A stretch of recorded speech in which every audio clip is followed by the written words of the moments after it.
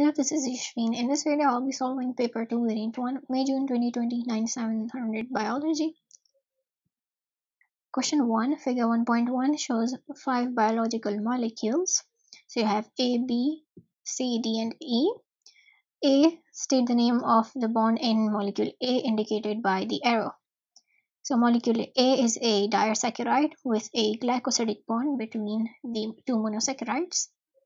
B, the molecule B is described as a saturated fatty acid. State why molecule B is described as a saturated fatty acid. It's a saturated fatty acid because there are no carbon-carbon double bonds in the fatty acid tail. C, molecule D is a polymer. State the name of the monomer that is used to synthesize this polymer. So um, D is this polymer and as you can see the CH2OH group of each monomer of this polymer is uh, rotated 180 degrees uh, on every alternate monomer. That means it is a cellulose molecule made up of beta glucose. These state the letter of the molecule that could be formed during the hydrolysis of a polypeptide. Polypeptide breaking a polypeptide would mean breaking it down into either smaller peptides or breaking it down to single amino acids. And since we do not have uh, amino acids on their own that would not be an option. But we do have these two amino acids which could be the result of hydrolysis of a polypeptide. So this is C. E state the letter of the molecule that forms part of the cell surface membrane of eukaryotic cells. So that would be um, this phospholipid over here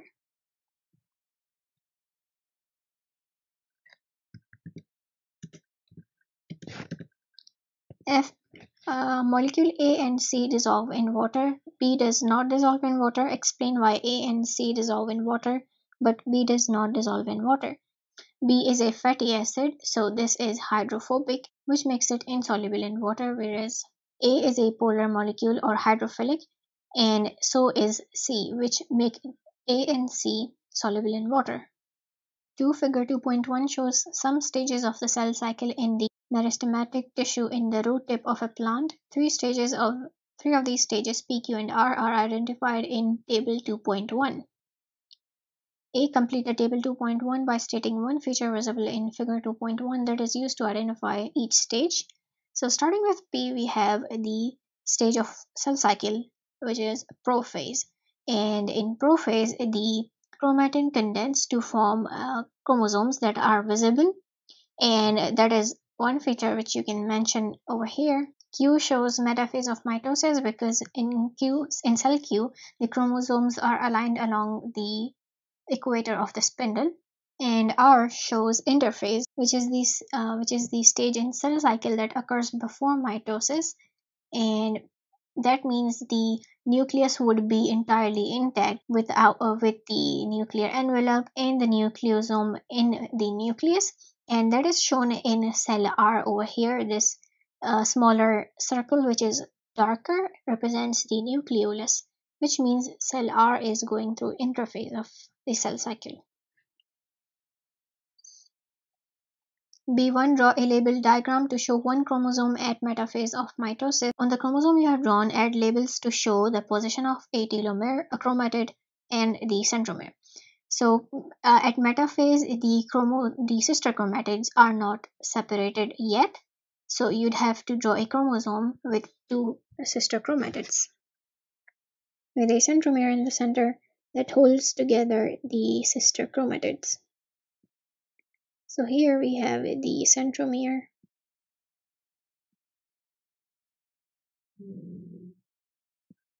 This is a chromatid you can label either of the two and the telomere position could be a, um, any tip of the top or bottom tip of either of the two chromatids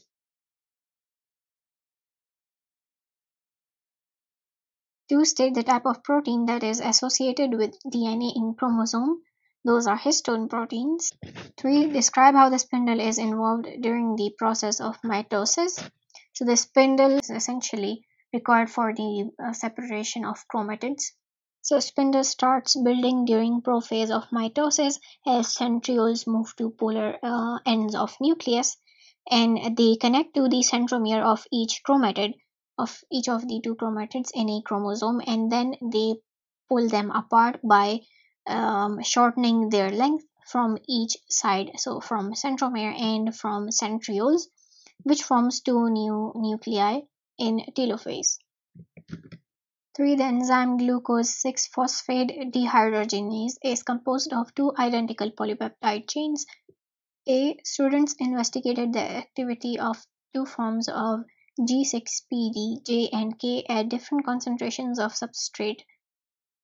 K is a form of the enzyme that results from a mutation that changes one amino acid in the polypeptide and the results are shown in figure 3.1.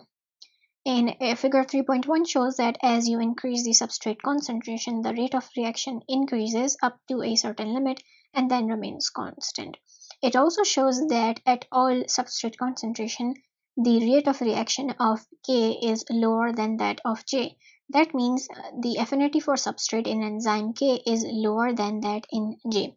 So the change in amino acid must have caused some change in the shape of active site of K which resulted in its lower rate of reaction.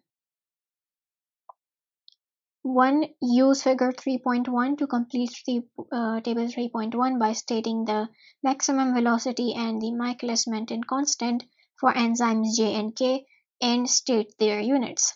So the maximum velocity would be the maximum rate of reaction and therefore it has the units micromole per minute and the Michaelis-Menten constant would be the substrate concentration for which half of the enzyme's active sites are occupied, or in other words, half of the maximum the substrate concentration which gives half of the maximum enzyme velocity which is why it uh, has the units of millimole per dm cube alright let's look at the maximum velocity of j which is this leveled line over here and that is 60 and for K it is 50 uh, micromole per minute.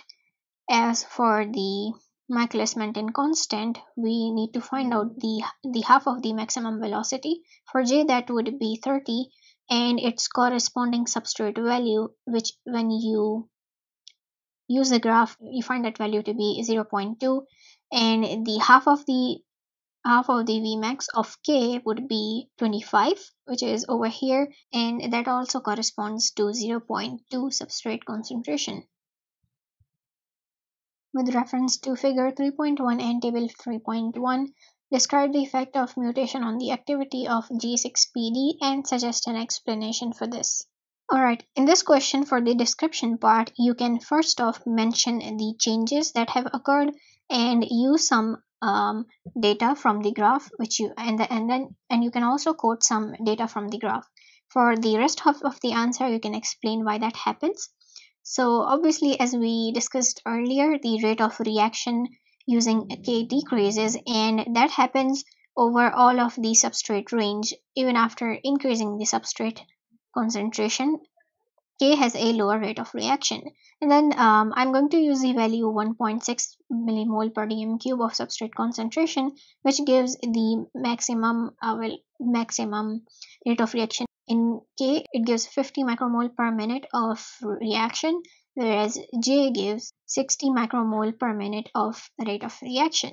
So that would score you two marks, and then you can explain why that happens. So the change in amino acid, Change in amino acid causes change in shape of active site and as a result K has lower affinity for its substrate which means in any given time interval fewer enzyme substrate complex form which lead to a lower rate of reaction.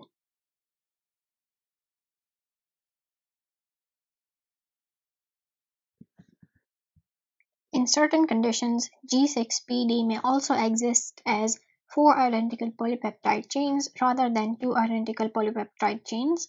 Explain why both of these types of G6PD have all four levels of protein structure. So that would include primary, secondary, tertiary, and quaternary. Um, so primary would mean they all of them have a sequence of amino acid. They have uh, hydrogen bonds holding 3D uh, 3D shape which holds their structure and all of them consist of more than one polypeptide and so they have all of primary, secondary, tertiary and quaternary structures.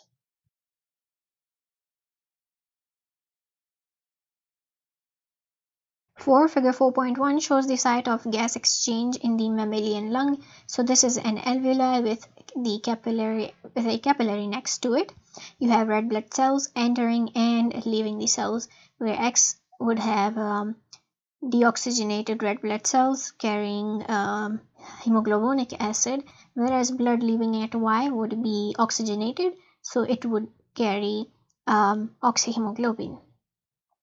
A state 2 is in which carbon dioxide is transported. So all, out of all of the carbon dioxide, 85% of carbon dioxide dissolves um, is present in the form of uh, hydrogen carbonate ions that forms after carbon dioxide dissolves in water to form hydrogen carbonate which then dissociates to form the ion and 5% of carbon dioxide remains dissolved in the plasma so it does not enter red blood cells and the rest of the 10% of carbon dioxide uh, reacts with the terminal amine groups of hemoglobin to form carbaminohemoglobin. Out of the three, you only have to write two. B table 4.1 shows the partial pressures of oxygen and carbon dioxide at locations W, X, and Y in figure 4.1 all right so the greatest partial, partial pressure of oxygen is in W which is the alveoli because inhaled air contains the greatest amount of oxygen.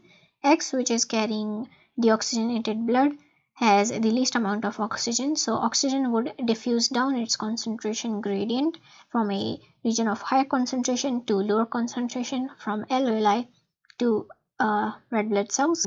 After being oxygenated, the partial pressure of oxygen in the blood rises.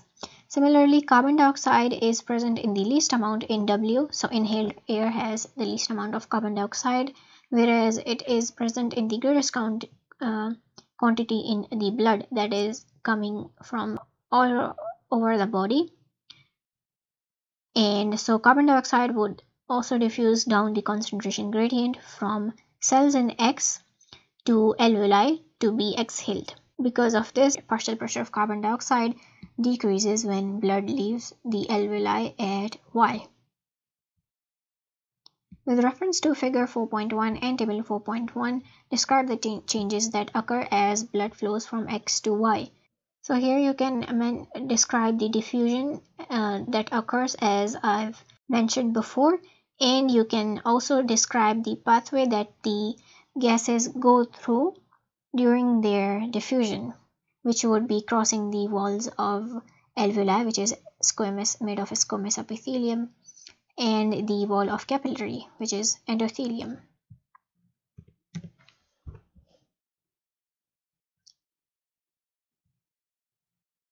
See, Elastic fibers are present in tissues at the site of gas exchange in the lungs. Describe the roles of elastic fibers in the gas exchange system and in cardiovascular system. So starting with elastic fibers in gas exchange, they are found in alveoli, trachea, bronchi, and the bronchioles. So when you inhale, the elastic fibers would expand and allow maximum volume of air inside, especially in alveoli, they would uh, allow maximum volume of, of air inside to allow maximum gas exchange between the red blood cells in the capillaries neighboring the alveoli and the air inside alveoli. And in cardiovascular system, the elastic fibers are found in the most abundant form in in the most abundant amount in arteries. So we'd focus on that in our answer and they allow the arteries to expand when the pressure increases with pulse as uh, blood is pumped out of heart. The elastic fibers also allow the arteries to recoil when the blood pressure decreases with each pulse. So that is the role of elastic fibers in the two systems.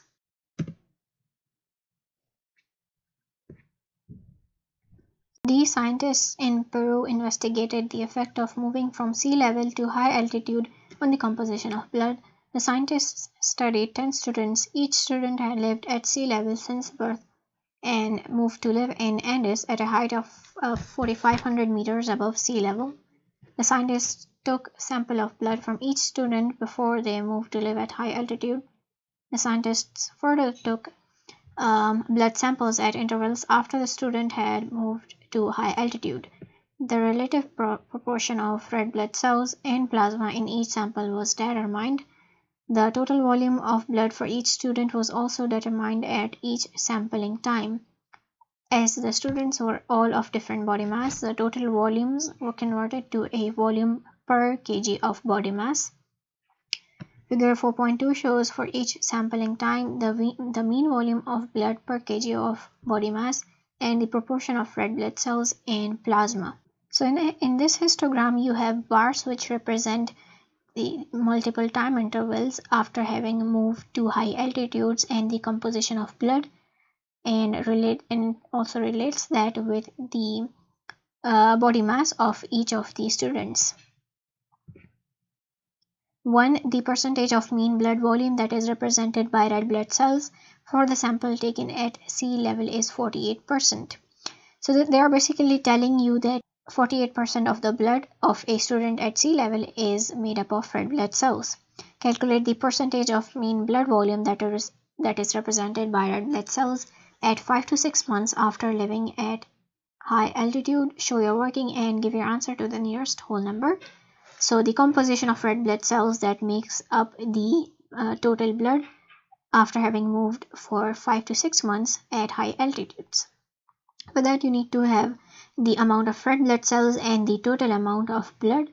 So that would be red blood cells, the amount of red blood cells is which um, corresponds to 50 centimeter cube per gram and the total volume of blood uh, for the 5 to 6 time interval. So each small box over here reads for 2 units. So you have 82, 4 and 6.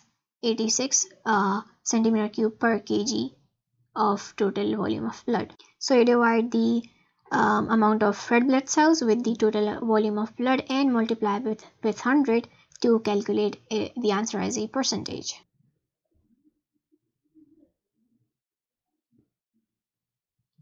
Describe and explain the results in figure. So it's supposed to explain how uh, moving at altitudes affects the percentage composition of blood and explain why that happens. So as you can see, the mean volume of blood increases overall generally as you uh, go up except for the time interval between uh, remaining at sea level in 1 to 2 months. Similarly, the amount of red blood cells also increases except for the time when it decreases from uh, between 7 to 2 7 to 8 months and 12 months. You can mention that and then uh, for the rest of your answer you're supposed to explain why. And at higher altitudes the partial pressure of uh, oxygen in the air is lower which means partial pressure of oxygen in air that enters the alveoli is also lower. And that means the percentage saturation of red blood cells with oxygen decreases and as a result the body does not receive sufficient amount of oxygen for aerobic respiration and a greater number of red blood cells are synthesized. So say a certain micrograms of red blood cell, cells pass through capillaries in lungs in a certain interval of time.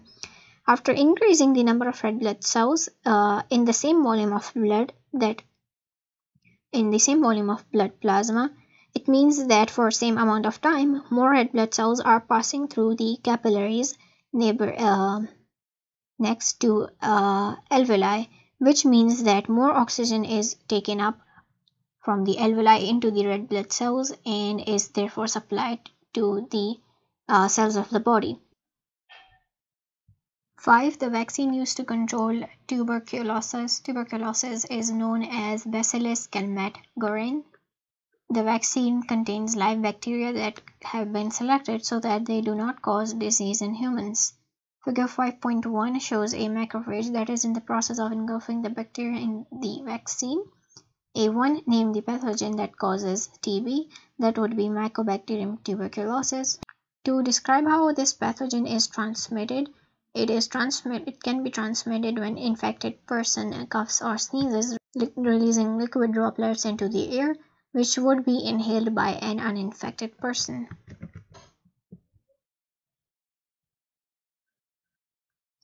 B. Describe the events that occur in the body after the macrophage has engulfed the bacteria until the production of uh, antibodies in response to the BCG vaccine. So antibody production is the response of lymphocytes. So you're supposed to, in your answer, you're supposed to link the action of macrophages to that of um, lymphocytes. So after macrophages have engulfed bacteria, the lysosomes in macrophages would digest the cell wall of bacteria to expose their antigens and so that the antigens form a part of the cell surface membrane of macrophage. And that would be used for antigen representation which would attract um, lymphocytes. And uh, B, B lymphocytes with receptors complementary to these antigens on the surface of uh, macrophage would be attracted and they would be stimulated to form plasma cells and undergoing clonal selection and expansion and then secreting antibodies. Similarly, um, helper T cells could also secrete cytokines that would stimulate B cells to form uh, plasma cells faster and therefore secrete antibodies faster. C. Vaccines such as BCG stimulate the formation of memory cells. Explain the role of memory cells in the body's defense against TB pathogen. Because memory cells remain in the body for uh, a long period of time, they provide long-term immunity. So the person would not experience the symptoms of the same uh, disease if a particular pathogen re-enters the body after having infected the person who has recovered from it and uh, due to as a result of uh, formation of memory cells during secondary response if the pathogen enters the body again the same pathogen the pathogen having the same antigens um, the formation of antibodies would be uh, much faster than that in primary response and the antibodies would also be synthesized in a much higher quantity These suggest why vaccination with BCG has not yet eradicated TB. In your answer, you can explain general reasons for um, vaccines not being successful and uh, you can also include any anything which would be specific to the BCG vaccine or the uh, TB pathogen uh, the pathogen that causes TB is, acts as a parasite, so it lives inside human cells. Because as a, as a result of that, its antigens are concealed from antibodies, so they are not able to um, kill those pathogens that are present in the host cells, which which could make the vaccine ineffective. And as for the general reasons, vaccine vaccines can be made unsuccessful when um, a population does not receive herd immunity. So those who are who have not been vaccinated can still catch uh, the disease can get infected and they can act as reserve, uh, reservoirs of infection. And after traveling to somewhere or acting as immigrants they travel somewhere where other people the population has not been vaccinated either they can easily transmit the pathogen and can cause the disease in people who have not been vaccinated or in areas where uh, herd immunity has not been achieved. 6. Figure 6.1 shows the formation of a polypeptide during translation in a eukaryotic cell. So you have the mRNA, the ribosome, and a transfer RNA as well and transfer RNA is carrying their particular amino acids. A. Name the purine bases shown in figure 6.1. So the uh, adenine and guanine are the purine bases which are present, which are also present in uh, the bases in the figure. B. State the name given to the group of three bases found at J on a tRNA molecule. So a group of bases on a tRNA molecule that binds with a group of bases on the mRNA would be an anticodon. C. Identify the bases at J. So G bind the bases on J have to be complementary to the bases on mRNA uh, where it's uh, going to form hydrogen bonds. So G would bind with T. The complementary base of U is A and C of and that of C is G. So you have C, A and G. D. State how the three bases at J on tRNA interact with the bases on mRNA. Hydrogen bonds form between complementary bases. And that is it. We are done with this paper. Thank you for watching.